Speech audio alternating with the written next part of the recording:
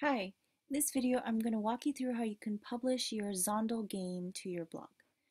So let's say you have created your Zondle quiz and you're ready to publish it to your blog. So go ahead and find your quiz by clicking on My Topics. And these are the three different tests I have created. I'm going to publish this test right here. So click on the test that you want to publish. And then go ahead and choose the game that you want people to play with the test. So I'm going to choose this fish game. Okay, then it's going to show this um, screen.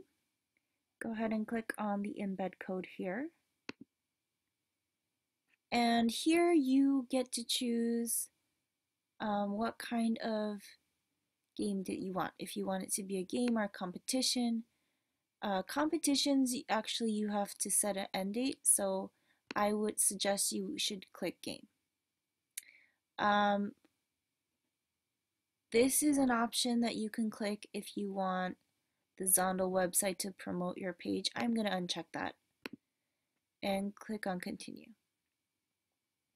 Then you're going to get this website and you can actually adjust the size of your game by dragging this slider here. I actually want my game to be pretty large, so I'm going to keep it here. And then you are going to be copying this embed code. Go to your blogger.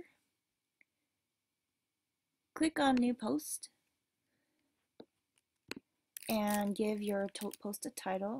My Zondle game or you can call it, um, you know, quiz on, you know, topic, whatever your topic is.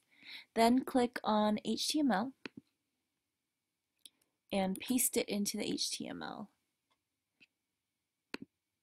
And what that does is it will embed your Zondle game right into your blog. Then click publish. And then if you go to view blog, there is the game and you can actually play it right in your blog. And that's it. Thanks.